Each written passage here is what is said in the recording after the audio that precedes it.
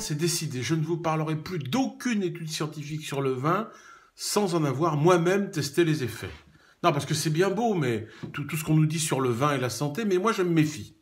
Hein, parce que par moment, on a affaire à de véritables charlatans. Donc, systématiquement, je vérifie. Et j'ai commencé cette semaine en ayant été attiré par une étude commune aux universités de, Washington et de Harvard, euh, gage de sérieux s'il en est, une étude qui dit ceci. Boire deux verres de vin par jour permettrait de lutter contre l'obésité, surtout si on les boit le soir.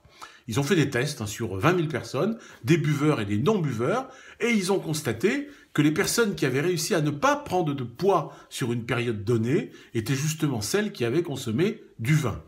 Avouez que c'est une conclusion très intéressante. Alors bien sûr, il y a encore une histoire de resveratrol derrière tout ça, la molécule miracle contenue dans le vin rouge. Cela dit, j'ai voulu vérifier.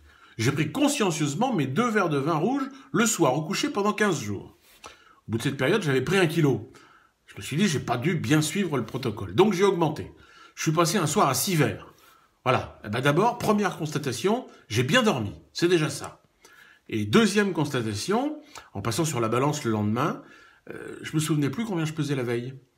Donc, donc l'étude de Washington et Harvard, ben, on ne sait pas vraiment si ça marche, mais ce qui est certain, c'est que quand on se pèse, comme on a oublié son poids de la veille, eh ben, on, se fout un peu du résultat. Et finalement, c'est pas plus mal. Donc, je, valide cette étude.